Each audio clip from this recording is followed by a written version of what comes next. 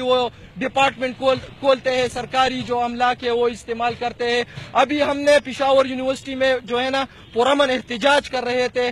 ہمارے ساتھ طلبہ و طالبات موجود تھے۔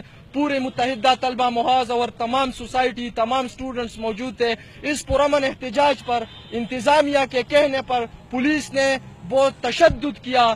لاٹھی چارج کیا. کچھ لوگوں نے جو ہے نا بندوق تانے سٹوڈنٹس پر اور ہمارے بہت سے لوگ جو ہے نا زیادہ زخمی ہو گئے. ان میں پولیس بہت کی دہشت گردی پولیس کی دہشت گردی ہم ہم صوبائی حکومت سے مطالبہ کرتے ہیں، ہم جو ہے نا مرکزی حکومت سے مطالبہ کرتے ہیں کہ تعلیم بیچنے کا جو کاروبار شروع ہے اس کو بند کیا جائے۔ اور خیبر پختونخوا ایک جنگ زدہ صوبہ ہے، ایک ایک جو ہے نا ڈیزاسٹر اس پہ گزرے ہیں۔ مہربانی کر کے جو پیسے، ان لوگوں نے بڑھائی ہے، اس میں پچاس فیصد کمی کی جائے۔ اور ہمارے جو طلبہ لیڈرز جو گرفتار ہوئے ان کو جلد سے جلد جو ہے نا رہا کیا جائے۔